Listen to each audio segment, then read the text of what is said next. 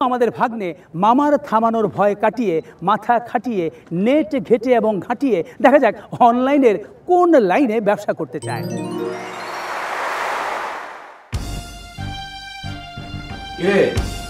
আজকে তোর দাদা কি? আরে ধান্দার কি আছে? আমি এখন ভার্চুয়াল মিডিয়া নিয়ে ব্যস্ত। নতুন অনলাইন ব্যবসা প্ল্যানিং করতেছি।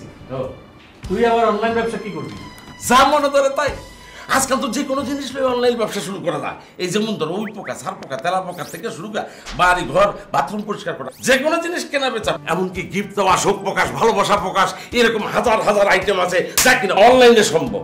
ওই তুই ভার্চুয়াল মানে জানো মানে হইল দৃশ্যত অবস্থা হইল কার্যত মানে জিনিসটা আছে কি নাই সেটা আমরা জানি না। আজকাল অনলাইনেও প্রতারণা শুরু হয়েছে জানো আরে মামু তোমার বাইক নাকি প্রতারণা করবার লেগে ব্যবসা করব। অনলাইন মানেই তো সুবিধা। ওরা অর্ডার দিব আমরা টাকা নেব ডেলিভারি দেবো। আরে ঝামেলাটা তো ওইখানেই। আরে তুই তো না বুঝে ব্যবসা করবি। কোনটা যে প্রতারণা হয়ে যাব তুই তো টেরও পাবি না। আরে এইটা আবার কি কম? অনলাইনে দিয়ে মানুষ বিয়া পর্যন্ত করে বলা করে কিন্তু বাস্তবে যখন বউ থাকে তখন অনেক ক্ষেত্রে সে বিয়া টিকে না।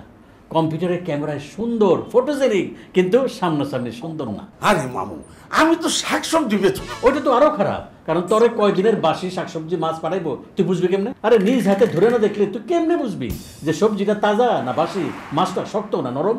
সেজন্য এইসব কাঁচা বাজার অনলাইনে বেচবিও না কিনবিও না। একটু হাইটা দোকানে গিয়া বা বাজারে গিয়া দেখে শুনে কিনবি। কিন্তু মামু এই অনলাইনে অনেকেই দিন রাত কাপড় ব্যস্তাছে লেকচার দিতেছে মানুষকে কাপড় কিনতেছে না। কিনতেছে কিন্তু অনেকে আবার ঠকতেছে।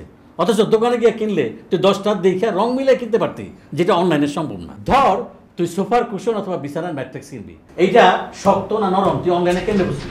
হে এখন যুগ পাল্টাইছে মানুষ এখন পেপার পত্রিকা বই শুদ্ধ অনলাইনে পড়ে। পরে আবার ছাপার অক্ষরও পড়ে। অনলাইনে ভুল হইতে পারে ভুল হইলে সেটা মুছে ফেলা যায়। কিন্তু পত্রিকায় একবার ছাপা হইলে সেটা আর মোছা যায় না। সেই জন্য এখানে সংবাদটা প্রমাণ হিসেবে থেকে যায়। কিন্তু বাবু এখন অনলাইনের মাধ্যমে অনেক কিছু সহজ হয়ে গেছে। ভালোবাসার কি? জন্মদিনের শুভেচ্ছা পর্যন্ত অনলাইনে পাঠানো যায় শোন অনলাইনে শুভেচ্ছা জানানো আর নিজে গিয়ে একটা ফুলের তোরা দিয়ে শুভেচ্ছা জানানোর মধ্যে পার্থক্য আছে। শোন টেকনোলজি কিন্তু জীবন না। মানুষের লোকের সময় কাটা যন্ত্রের লোকে না। এইভাবে যন্ত্র নির্ভর হইয়া যখন হাঁটাচলা বন্ধ করে তুই নিজে অসুস্থ হবি তখন কিন্তু মানুষের তোর দেখতে আইব না। যন্ত্রের মাধ্যমে শুভেচ্ছা জানাইব।